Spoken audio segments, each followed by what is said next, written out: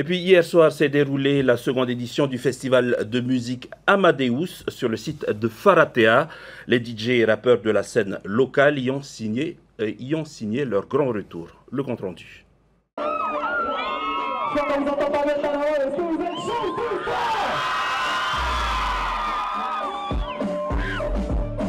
Ils étaient plus de 500 à avoir participé à la seconde édition du festival de musique Amadeus. Le maire de la commune est venu en personne pour vérifier le respect des normes de sécurité. Avec bien sûr des mesures de dépistage pour euh, voir si effectivement parmi les personnes qui venaient donc à cette manifestation, il n'y en avait pas certains qui étaient infectés. Et c'est le cas, il y a eu quelques cas.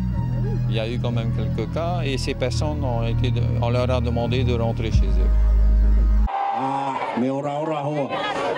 À l'entame de soirée, une minute de silence a été observée par les festivaliers pour les jeunes victimes de la guerre en Ukraine. Ils savent s'amuser, on l'a vu, et ils vont le faire jusqu'à 23h. Mais ils savent aussi à un moment donné se recueillir et être en solidarité avec, en effet, le peuple ukrainien. C'était le message de prévention ce soir, de leur dire que c'est une chance aujourd'hui en Polynésie D'abord que l'on ne soit pas en guerre directement et qu'on ne soit pas euh, obligé d'envoyer nos enfants euh, sur le front. C'est une chance de pouvoir euh, danser, s'exprimer, chanter, vivre tout simplement. Après le parc Vairei en 2020, le festival Amadeus a choisi cette année Faratea pour son voisinage. On est venu ici, parce qu'il y a très peu d'animation et les gens, en tout cas, les, voisinages sont, assez compréhensifs. Voilà, et même pour les nuisances sonores, beaucoup prennent sur eux.